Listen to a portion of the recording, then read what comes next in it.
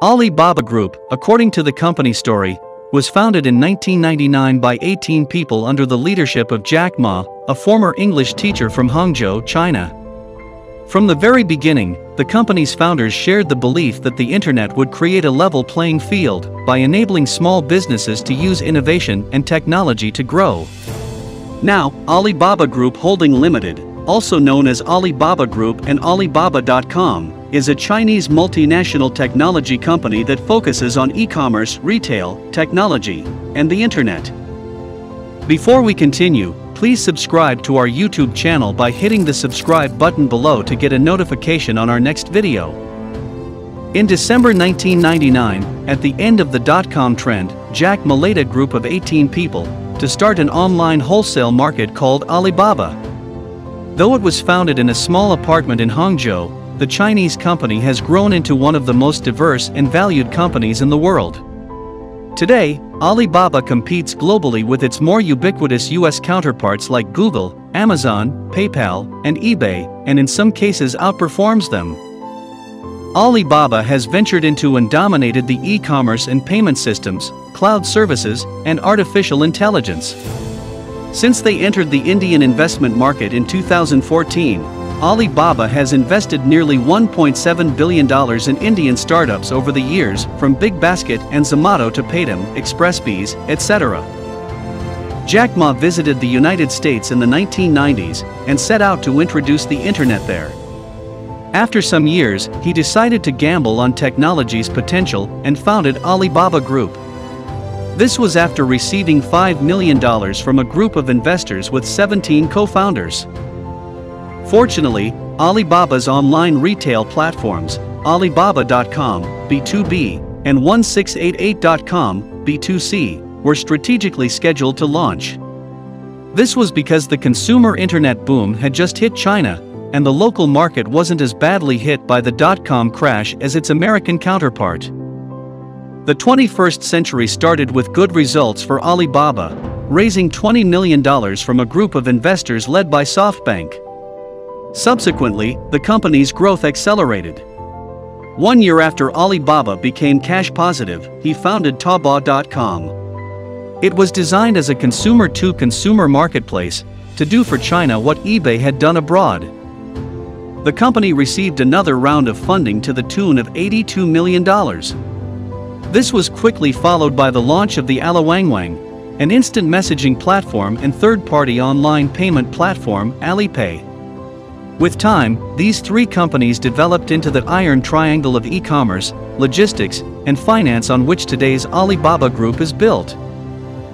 Like the other members of the acclaimed Chinese BAT Group, Baidu, Alibaba, Tencent, Alibaba benefited greatly from its home country's strict internet control guidelines. While the Chinese government sought to build a business ecosystem similar to that of the United States, it was cautious when foreign companies entered the market at the expense of local businesses. With regards to this, China installed a massive internet filtering and censorship engine called the Great Firewall. This engine dealt devastating blows to the Chinese dealings of tech giants like Google, Yahoo, and eBay. This firewall enabled companies like Alibaba and Tencent keep a tight grip on the rapidly growing population in China via the internet. Encouraged by China's pro-local policies, Alibaba got into a strategic partnership with Yahoo in 2005, and then took over its activities in China. Over the next three years, Alibaba founded the three most successful companies, Taobao University an online e-commerce education program, Alimama an online marketing platform, and Tmall an online marketplace for third-party branded products.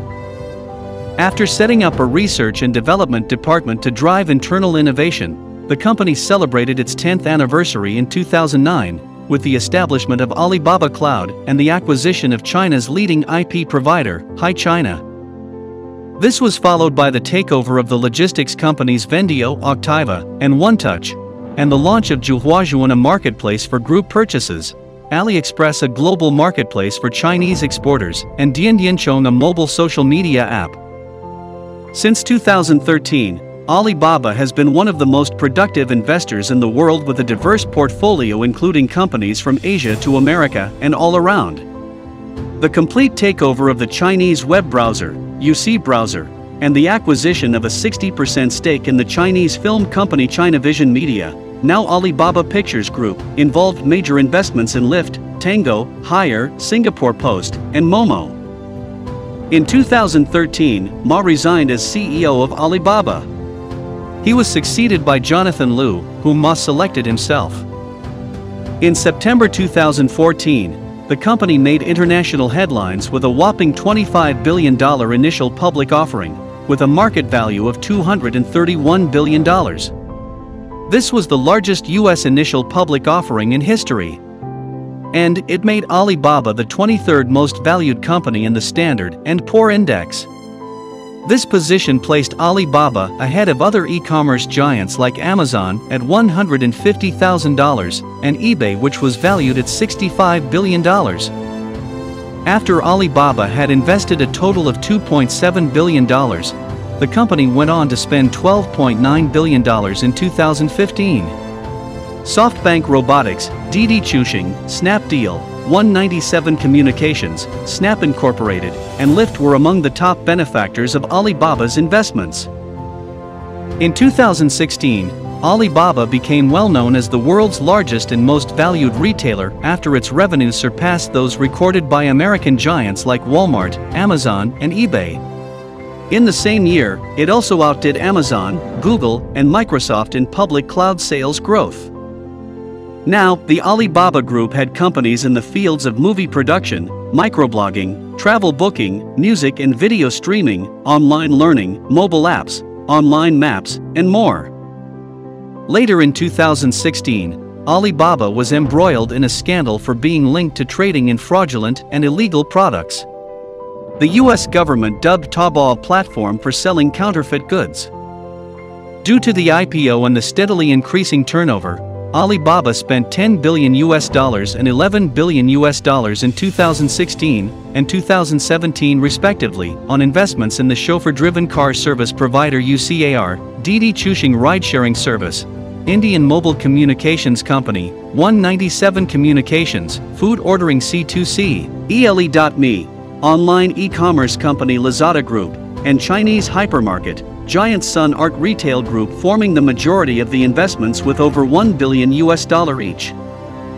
Because of its remarkable research division, Ali Research Alibaba was ahead in the artificial intelligence revolution, using machine learning to drive sales, marketing, and customer service during its annual Global Shopping Festival. It also worked with Starbucks in Shanghai to establish an augmented reality experience in the largest coffee chain store in the world.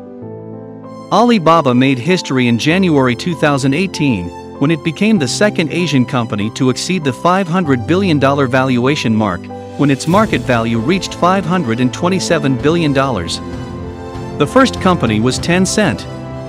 In 2018, the company recovered from allegations of scandal, with Taobao and Tmall each exceeding 500 million monthly active users. By 2019, Ma kept his promise to leave Alibaba. Daniel Zhang succeeded him as the current CEO of the Alibaba Group.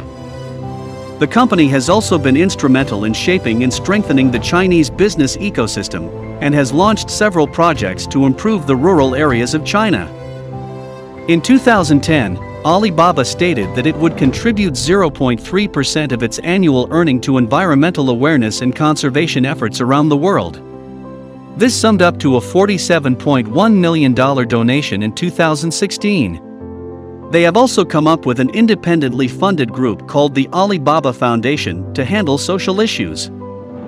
Although Jack Ma is no longer at the helm of affairs, Alibaba is still one of the world's largest online commerce marketplaces and isn't showing any signs of exiting that position. That exceeds the founder's vision of an e-commerce platform for the Chinese populace, and then some, in just 20 years in business. What do you think about Alibaba Group's company story? Also, what do you think about Alibaba's entrepreneurial journey so far? Thanks for watching this video. Please share your opinions in the comments section below, and remember to click the subscribe button to be the first person to watch new videos on this channel.